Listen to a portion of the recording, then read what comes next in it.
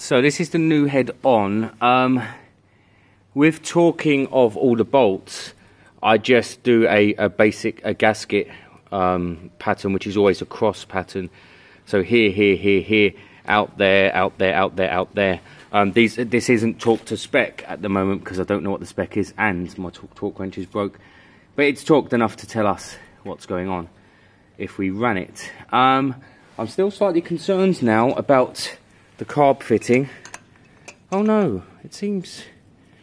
I, I need to double check if if I need to put the carb on so it'll sit kind of there. The carb, I think it will fit. Um, we probably need to remove this airbox system, I think, if we were going to put a pancake filter on. But I think John would prefer the rounder rear panels. They, they do look good on this. Anyway, so uh, you, you'd you'd basically be converting it to a an earlier model, not not properly, um, but you know that's kind of what you'd be doing. So uh, yeah, again, I'm not. This isn't a how-to because I don't have the expertise for this. So this is more of a this is what I'm doing on John's bike. Uh, the head is down. I, I, feel like I want to spin the engine over. I think if I pop the uh, cover off, I can spin it by hand. I should probably set it to top, top dead center anyway and set all the valves. Well, yeah, I will actually have to do that, won't I?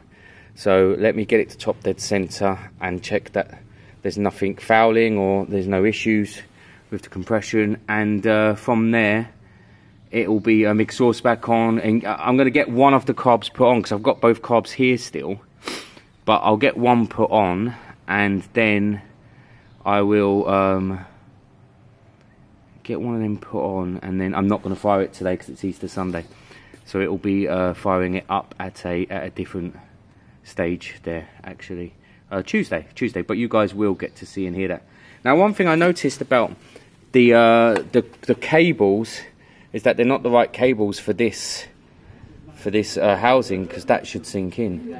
Um, so uh, that wouldn't have helped. Or there should be a top hat in there. Uh, a um, oh, there's one on there. Oh, that doesn't make sense at all. There you go, a top cap. So uh, if I was trying to run it like that, then uh, no wonder it wasn't running very well. So I'll use this carb with its correct top hat for basic adjustments. That one I'll get rid of in a minute. I'll just put it away. Don't worry about the second line at this stage because ultimately we can just take the second line out and just run it off one. You don't need to do any changes there. So uh, again, not my expertise uh, these bikes at all. I really don't. I don't have much of a clue about them, but I'm just giving it a shot out of curiosity, if, if I'm being completely honest. Uh, and it's fun. It's a nice day today. Uh, Gary was here, Rabjab's here. It, it's at least something fun to do. The next day. So it's the next day. It's Easter Monday. Um, yesterday we got to the point where I put the new the front valves on, and the the valves sprung a couple of times, and then they just stopped. Uh, to the point where the push rods were almost bending. Um, and not pushing the valves. So I think I need to take this new head off, pop all the valves out, clean them all up, make sure they're all functioning, and then pop them back in before I carry on doing anything else. Uh, the truth is, there is no kind of, there's nothing really to do. Um, uh, this is great, I really want to do this anyway, but there's nothing else to do, which is why I'm focusing on this today. And Rabjab likes to get out, so, you know, he'll be down. With the CB, I'm going to do the two new rims and I'm going to attempt to spoke them myself and tune them. Uh, Gary apparently has done it before in his country, so Gary has some experience in uh, the spokes, which is great. I didn't realise. John also, I think John might pop down in a month or so. He might come to the next Kempton Park, so that'd be cool. So new handlebars, new uh, wheels, and then it'll be absolutely ready to kind of put back um, together as a full bike. Uh, but yeah, so I am focusing on this today, but with again with not that much filming. It's not a tutorial. I'm not good enough at this to do a tutorial, and you've seen the valves removed before. I'm also suffering massively with hay fever, even though I've taken a tablet. Has anyone really suffered with their hay fever this weekend on the Easter weekend? I bet there's loads out there. Thank God, guys. Sometimes I really worry about my ability to do this Look, clear issue, clear issue. Um, because uh, like I said, I, you know, I worry. I think, shit, what's going on? This this is all together. It's normal. Why is it not functioning? But I've got I've got all the tools to do this. So I'm gonna pop this off, clean up all the valves, um, put them back in, make sure they're all loose, and carry on. I was tempted to put the new valves and the new springs from the other heads on, but John said best to just clean these up and use them. I think he probably makes sense. I'll also do it one at a time so that we're all back in the same sleeves. Um, yeah, but I'm glad that I'm not going nuts. There's obviously an issue there. This valve has uh, stuck open, and then that means this one would have not fully opened or stuck closed. I'll also have to double check these valves. I only ever spun it by hand, so not too much should have gone wrong, but they may have bent. If they have bent, I'll swap them over to the other ones and I'll grind the new ones in. So, in some ways, really pleased there because there's blatantly an issue. I was worried about my ability to get this done, and in other ways, uh, we have to just check. Although, like I said, we've got all the parts there over there. I'm not too worried about that actually. So again, not showing, you know, the full process because you've seen it before. But that valve was rock solid, and after a bit of cleaning, you know, it's look.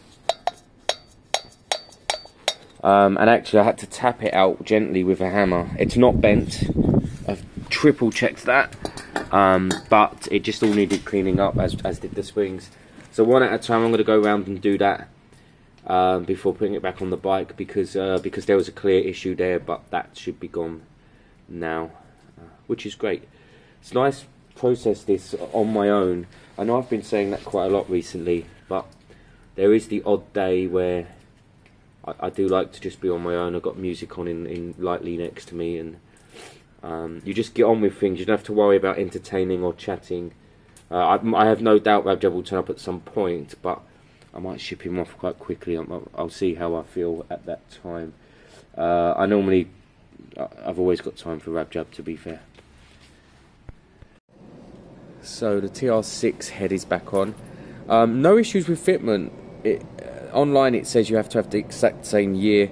I don't actually know what year this came off, but I know that it's a later engine to 79 to uh, 69 to 74 or something, but this is a 73. So, and I know that the head said the same thing, 69 to whatever 74, 75. But uh, it said online you have to have the exact year for fitment. Um, I don't think that's right, unless I've got extremely lucky and got a 73 head there from a 73 bike, and we've got a 73 bottom. Although saying that, we're not out of, you know, we're not there yet because um, this isn't up and running. Oh no! now once I put the the cams on, the cams, the um, valves on, uh, or the what what would you call that? The the top part, the push. No, it's not the push rods. I don't know. But um, once I put them back on and uh, and adjust the engine, then I'll be able to see if it's kind of functional. What you do is you go to top dead center, see which one has less slack in it, and you tighten that one. Go back round 360, do the other side, and you do the same on the back. Which one's not got much play in it? Adjust that one, turn it all the way around, and do it again. You got to be careful with the second one that has lots of play because it could fall off the push rods. So you, it's a real kind of fiddly pain. This system but it, it is manageable. As, get the bottom ones on first, the push rods. Get them seated. Turn the engine. Keep your fingers on the top. Make sure they're lifting with the engine. And then basically, um, you put the top on and you look in with a light to make sure the balls kind of sit in where they should be. Uh, it's complex, uh, it, people have been doing it for many years successfully. So I'll just show you what's happening because I thought they were both set. I set that one really well actually. Now look, I think that push rod's come off. So this this valve's great. I'm, I'm turning the engine over by hand. Yep, that's doing exactly what it should. And then the push rod on the other side isn't turning at all. So um, it's fallen off the, the bottom, I think, rather than the top. Now at the moment to set it all, I've just been putting the front middle bolt in and these two rears, so that because I'm actually setting the uh, adjustments every time as well, which by the way is, is, taking ages because of this problem, the push rod issue. Uh, it's very hard if if the push rod's not moving, which it's not, then it's the bottom end that it's probably fallen off. So you've got to take this off again, try and reset it, and try again. And it's a bit of a constant uh, cycle here. Um, the other thing that happened slightly differently on this occasion was that uh, the second valve was compressing before I was round one more spin. Um, so I'm not quite sure why. Uh, I don't know why that happened because uh, the, the left one was tight. It did work briefly, and then the right one was tight before we got to top dead center. Uh, so I'm not quite sure. So if I was looking at the top, this one now, which we know is, look. So let me get it to its top dead center because it's close here. Tiny bit more.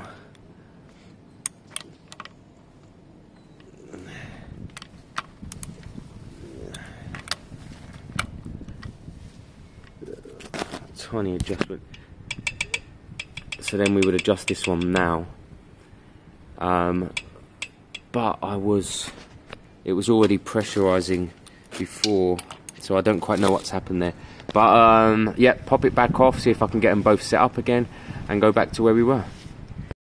So I just did the same thing again. I set the front right, and I watched the rod on the left fall off. So it did one circle and then it fell off. I'm wondering if there's something about it not being pressured on the rear end. Is it something to do with the lower cam? So basically, do I need to put both tops on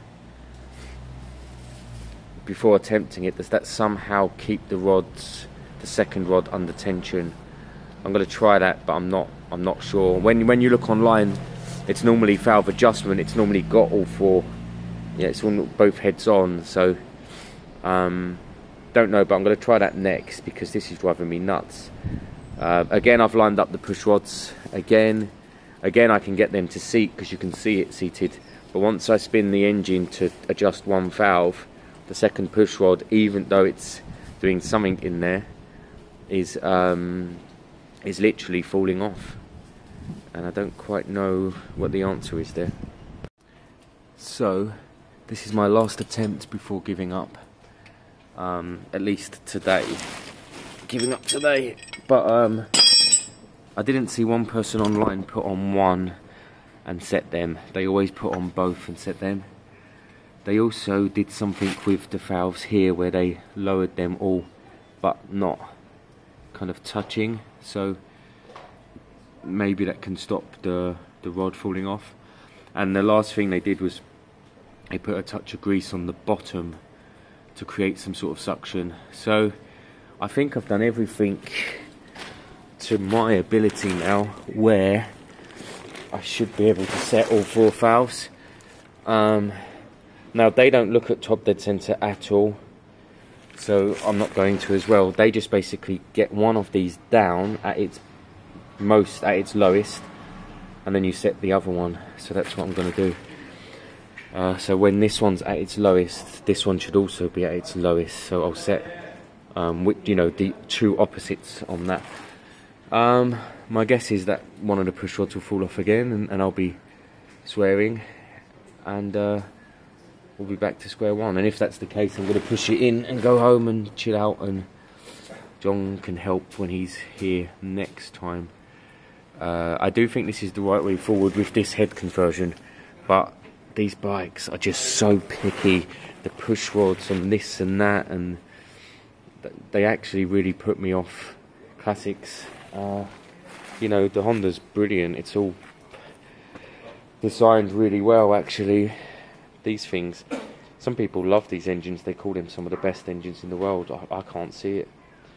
You know, I'm starting to really dislike old Triumphs, actually.